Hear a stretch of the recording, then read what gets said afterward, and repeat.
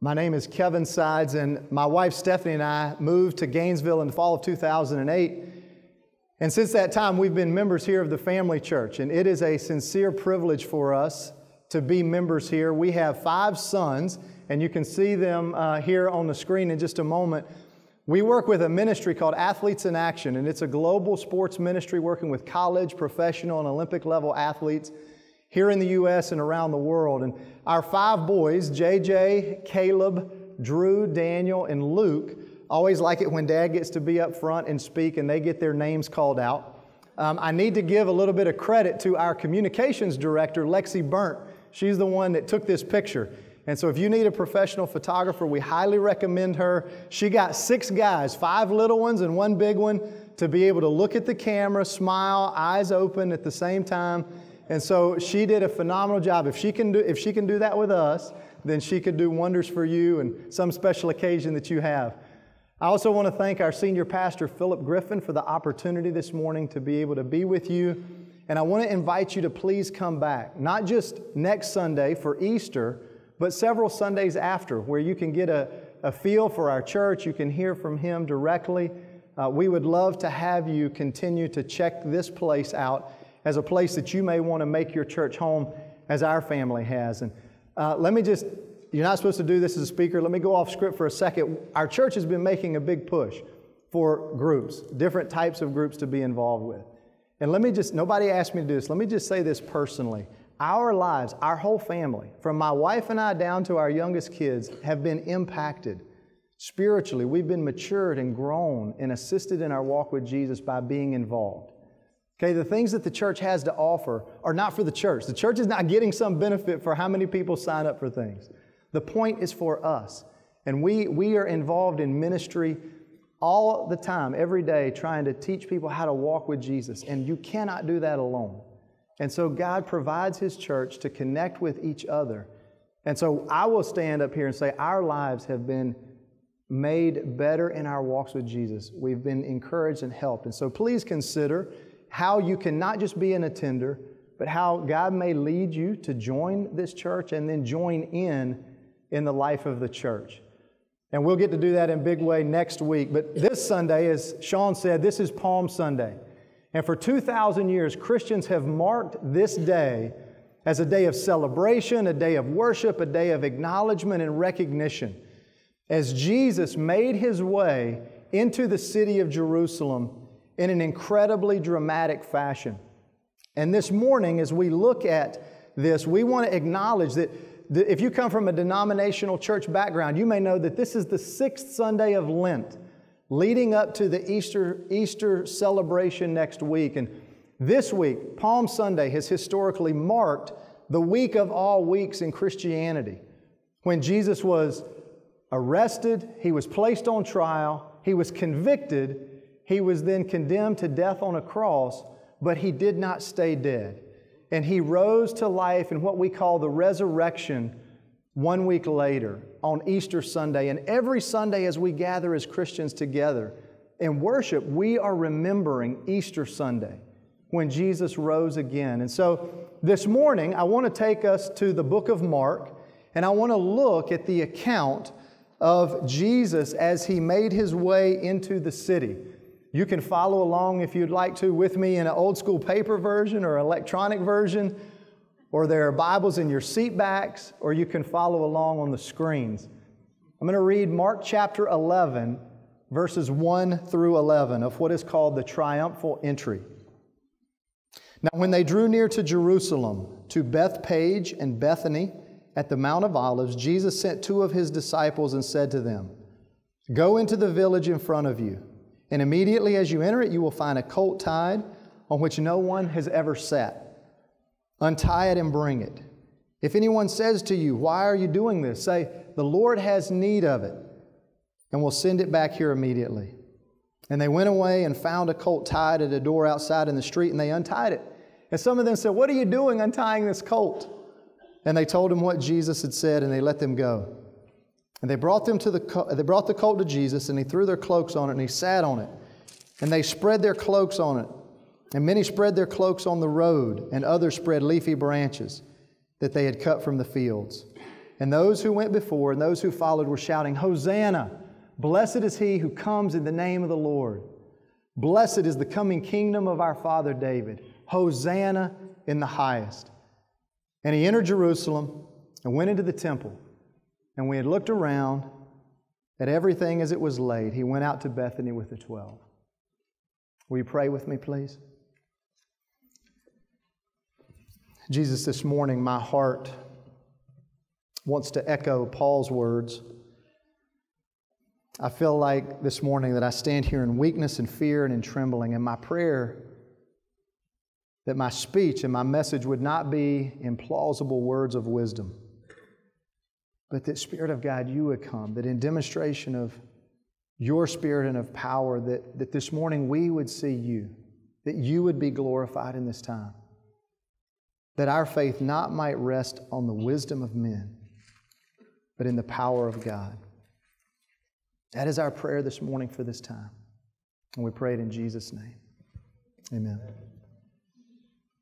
This Palm Sunday morning, I don't want us just to focus on the enthusiasm, the energy, and the crowd, the celebration, the worship, even the sacrifice of the people, as much as I want us to consider the question how it is possible that within the span of less than one week, the same crowd, the same voices that screamed, Hosanna, could turn right around and scream, Crucify him.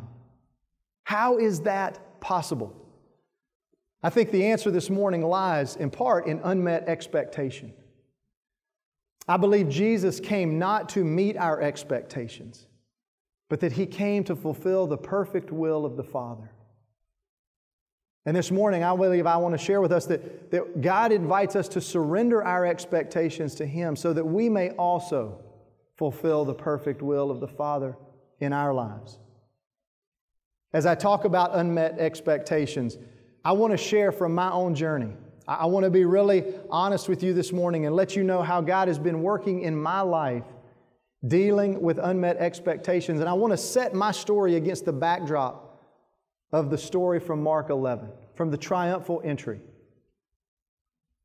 I hope that, that through my life and through this story, you may be able to engage and connect a little bit with your own unmet expectations. And then together, for us to consider how God invites us to surrender those to Him so that His perfect will might be fulfilled in us as it was in Jesus. I don't know about you, but as I was preparing for this message, I began to think back over the course of my life, my, my fairly short life at this point.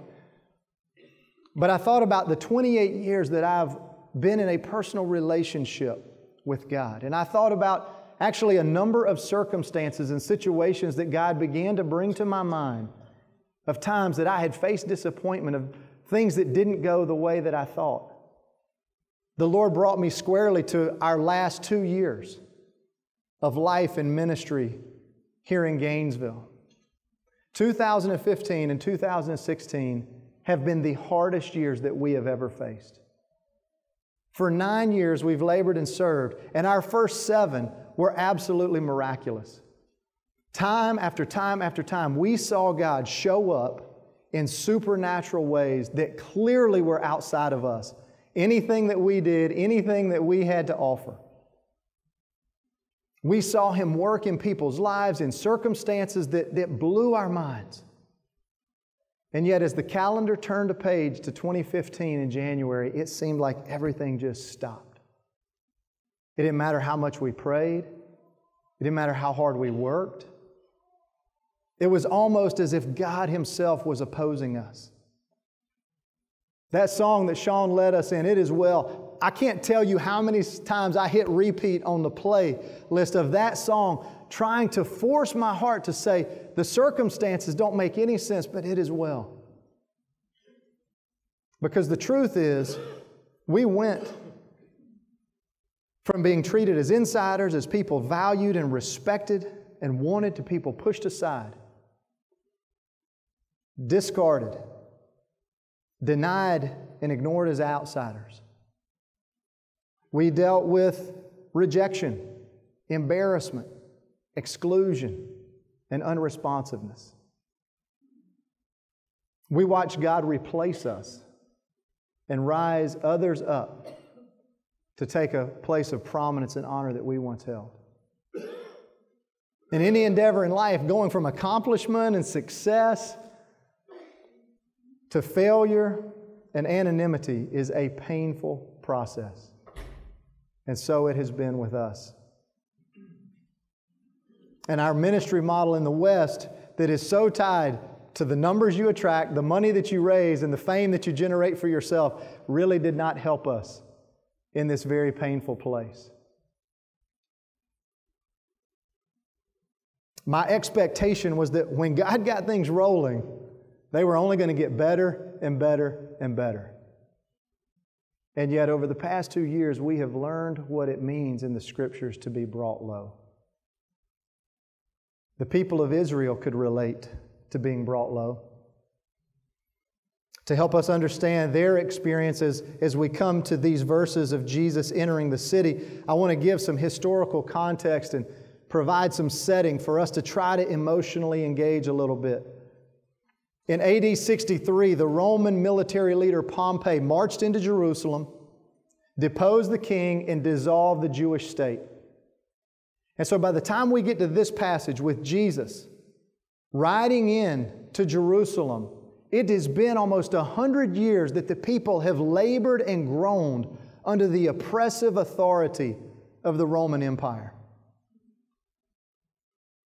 They have felt the weight of the taxes and of the disregard of their customs and their culture. They've been disrespected in every way, most specifically spiritually and the Jewish people hated the Romans. And the Romans knew of their hatred. Their experience was that of living under an absolute, complete military dictatorship. Because any hint of rebellion or resistance to Caesar was met with absolute, complete, and brutal force. The Romans invented crucifixion, death on a cross to be the most brutal way that they could possibly put someone to death, so that it would act as a deterrent against future disobedience. We're going to make an example of everyone who dies in this way to say, Don't try us. King David had been Israel's greatest king, and the Hebrew scriptures, what we call the Old Testament, spoke of a future Savior, a king who would follow from David's family tree. This, this person would restore Israel's prominence and power one day, and this Savior had a title. It was called the Messiah, or in the New Testament translation, the Christ. As Jesus sent his followers to go get this colt, he's finishing three years of his public ministry. And he has now come to the place where he is ready to announce himself as this Messiah. There are four records of this triumphal entry in each of the first four books of the New Testament Matthew, Mark, Luke, and John. Each one has a little bit different snapshot of the exact same story. Each one tells us that Jesus rode in on a colt. And Mark, as we read, explains that the colt was young, had never been sat on. And so, as you can imagine Jesus coming as the Messiah, you can kind of picture in your mind some pretty good options. Some, some good options for this rescuing king to ride in on and save the day. The Romans were stately. You can see here a picture on their stallions that were regal and powerful. King David, the greatest leader in the Hebrew history, rode a strong and sturdy mule. Both of these in their infancy are called a colt. And they could have been good options for Jesus to mount as he made his way in declaring his title of Messiah. But Jesus didn't come to meet our expectations. He came to fulfill the Father's perfect will. And so in the book of Matthew is where we understand, as Sean referenced this morning, that Jesus fulfilled the Father's perfect will in fulfilling a prophecy that had made long before he was born. The prophecy said this Behold, your king is coming to you humble and mounted on a donkey, on a colt, the foal of a beast of burden.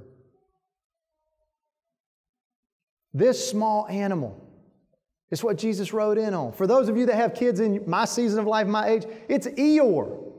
Jesus rode in on Eeyore, okay, from Winnie the Pooh. That's what he chose as his preferred method of transportation.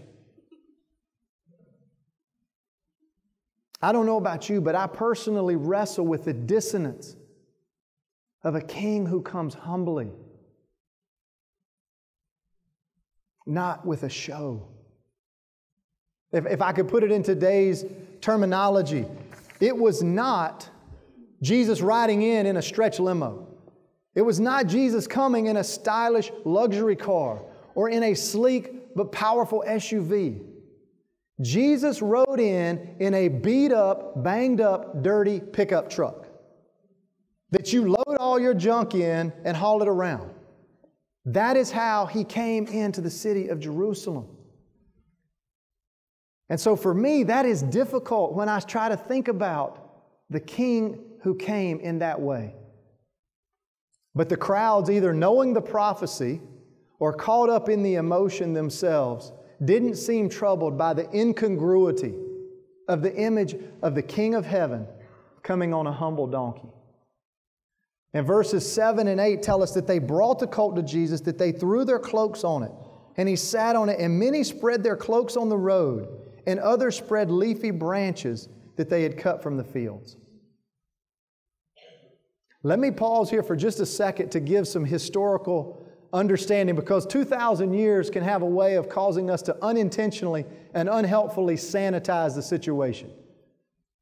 The road that Jesus went on from Bethany, Jerusalem's on a hill, Bethany's on a hill, and there's a valley in the middle. Bethphage is right outside on the eastern side of the city wall.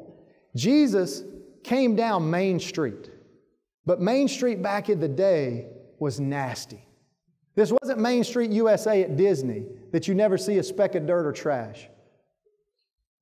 If you've been outside working in the past four weeks or four months, excuse me, before we had some rain, you know that the ground in Gainesville is sandy, and when it dries out, it becomes dusty and it just makes a mess everywhere. Jerusalem's in the desert. It wasn't just dirty, but it was dry. And so the ground that these folks were putting their cloaks down on, let's be really clear the accounts tell us that the palm branches were an afterthought. And that can be hard for us when it's called Palm Sunday. The palm branches were secondary. People were taking their very best clothes and laying them on the ground for a donkey to walk across. If you've been on a, if you've been to a parade, you know that colts, whatever type, right? Horse, mule, or donkey, they leave a mess behind. Think about this for just a second. Okay? And this is Passover when the people of Jerusalem and the, and the whole nation of Israel have come to the city to worship. It's, it's, it's Christmas when you get dressed up in your best and you go out shopping.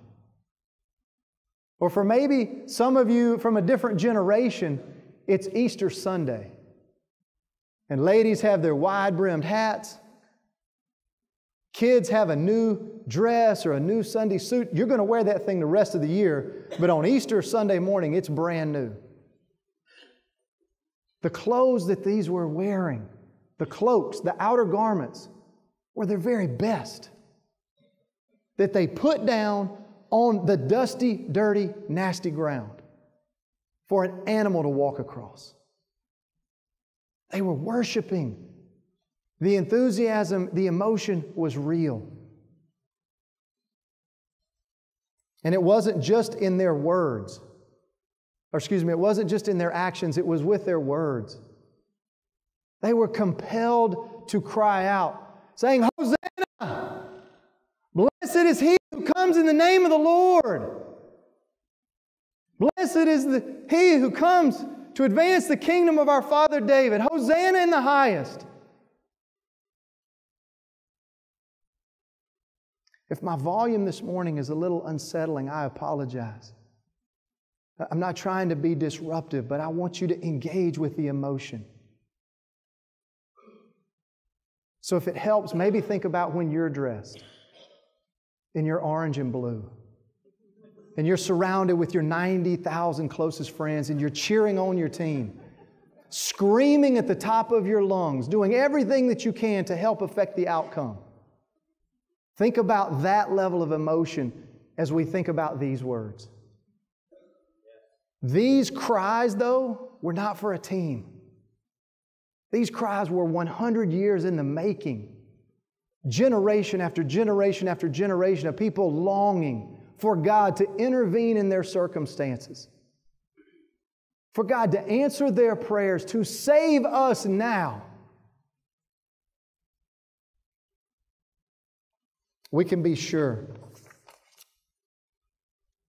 that the people were celebrating Jesus and welcoming him as their Messiah. The one who would restore their fortunes, reinstitute their kingdom, and reestablish their power.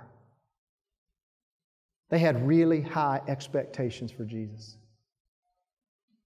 Luke's record tells us that as they came into the city and they interfaced with the religious leaders of the day, they confronted Jesus and looked at him and said, Tell your disciples to be quiet. Rebuke them. And Jesus' answer in response if they don't speak out in worship to me, the stones will. He received their worship as the Messiah.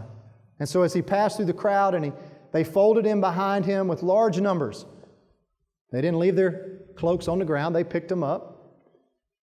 And as they continued on, they followed Jesus to the only realistic and logical place that the Messiah could go.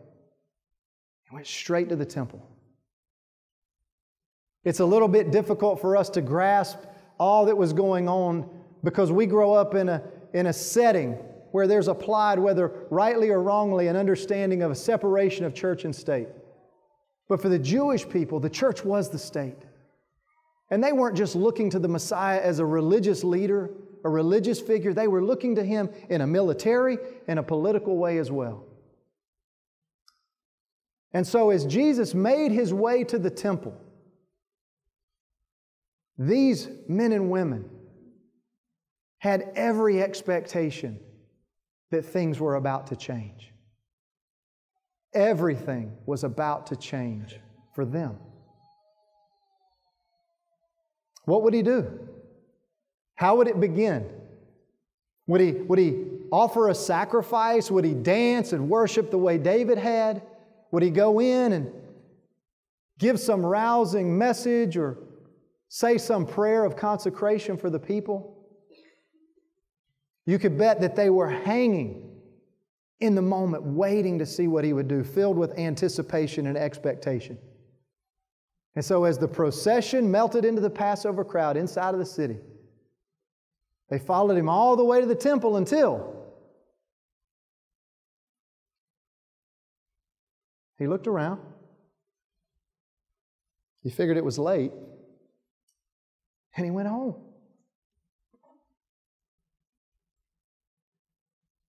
Can you connect just a little bit with the anticlimax? Can, can you emotionally feel in, in a small way the level of disappointment, of disillusionment, of discouragement that set in? I'm sure that at least somebody in the crowd was thinking, Are you kidding me? Uh, this is it. This is, this is all there is after all of the celebration, after all of the praise that we heaped on this guy, this is all there is. So somebody may have even looked at their clothes. I, I got poop on my, his donkey pooped on my jacket. I got poop on my jacket for this? You got to be kidding me. I'm sure that there were many that were deeply offended by the pathetic response of Jesus in this moment to the praise of the adoring crowd. But Jesus didn't come to meet our expectations. As followers of Jesus, we need to surrender our expectations so that we can also fulfill the Father's perfect will in us.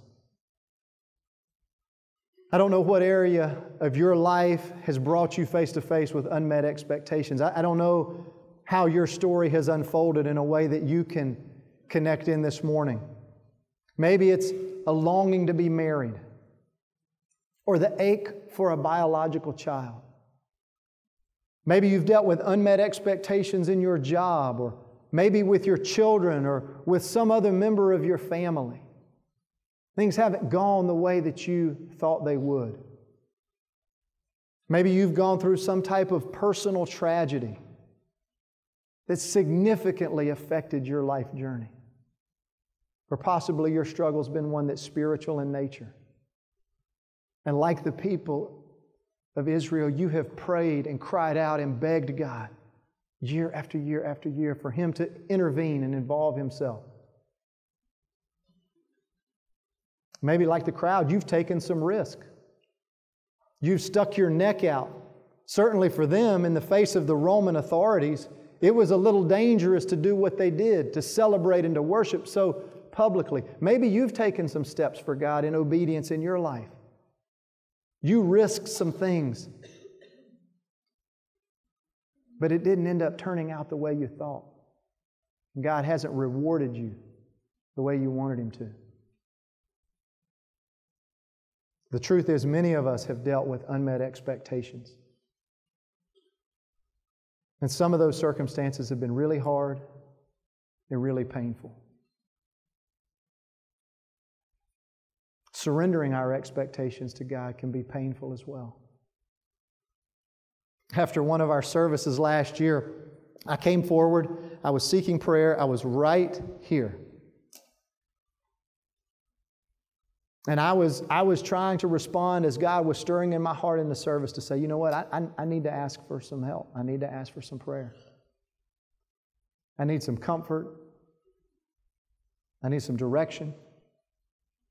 And God provided that through a dear couple in our church, Wade and Jean Aiken, who asked me how I wanted to be prayed for and prayed according to my request and God's prompting. And when we finished, God provided some perspective to some of my circumstances through words that they offered me when they were finished. He said, Kevin, God is doing a breaking work in you. He wants you to die to some things. Jesus talks about the grain of wheat that falls to the ground and has to die before it can bear more fruit. And that's what God is doing in your life. Well, isn't that great? that is not what I thought I was going to hear in terms of my words of comfort. But I thank them for their obedience to God. My expectation is that in the midst of faithfulness to God, in the midst of fruit and work that He's doing, He's only going to increase my stature and profile, my effectiveness and my impact. My expectation was not that God wanted me to diminish, and that He wanted to raise somebody else up in my place that I needed to go through breaking and die to some things. But wasn't that the Father's perfect will for Jesus? To go through a breaking and die? Bible tells us that Jesus was in agony moments before he was arrested, praying and saying, God, if there's any way, if there's any way that your plan can be accomplished without me having to walk this path, please make it possible. And Jesus continued that prayer, following with surrender, though, saying, Not my will be done, but yours. For him to fulfill the Father's will, it meant he had to suffer deeply and die unjustly. Three days after the crowd celebrated him, they cried, Crucify him. And four days after he was held by the masses, he was hung on a cross. His sentence nailed above him the King of the Jews, the Messiah. But his real rap was that he failed to meet the expectations of the crowd. He didn't give them what they wanted. They came worshiping, expecting something in return. And He didn't deliver. They wanted Him to make their life better, they wanted Him to make it easier. Their needs were legitimate, but their expectations were not in alignment with God's will. And if I'm honest this morning, I have these same types of expectations on God. As followers of Jesus, we need to surrender our expectations so that God's will may be fulfilled in us as it was in Jesus. And I'm so thankful that He surrendered. Because through His obedience, God has made it possible for me to enter into a personal relationship with Himself.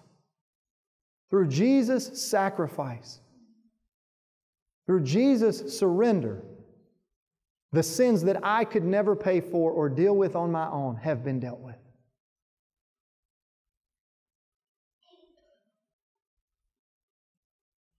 Like Jesus, the Father has a perfect will for us as well.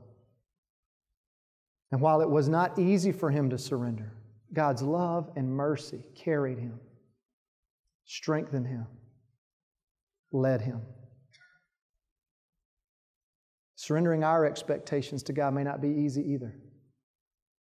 But that same love and that same mercy and that same help is available to us as well through God's Spirit at work in us.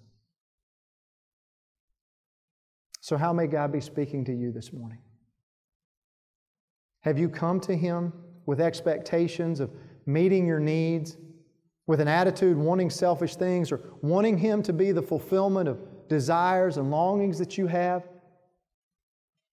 to make your life easier? Are you dealing with the stinging pain of unmet expectations in your own walk with God? As we close this morning, I, I want to share some steps that God has led me through and, and ask you to consider how He might be asking you to respond this morning as well. As God has revealed for me unmet expectations, He's shown me that those unmet expectations have led to sin in my heart. And He has called me to repent of those sins. He's also, in, revealed the, in revealing those expectations, He's asked me to please willfully surrender those to Him. And as you see on your notes or on the screens here, this last blank is not for me to tell you the answer. If God is prompting you this morning with areas of unmet expectation, if He's inviting you this morning to surrender those in some way, then I invite you to write those in here. Or maybe He's asking you, like He's asked me, to pray Jesus' prayer Father, not my will be done, but yours. And finally, this morning, if, if you don't know Jesus yet in a personal way, and life has dealt unmet expectations to you that have caused you to become weary and tired, you, you've tried so hard in your own effort to resolve the circumstances of your life, and you just, you're just at the end of yourself, you're done. And I want to say to you this morning that Jesus has made it possible through his obedience in fulfilling the Father's perfect will, for your history, whatever it may be, to be wiped clean.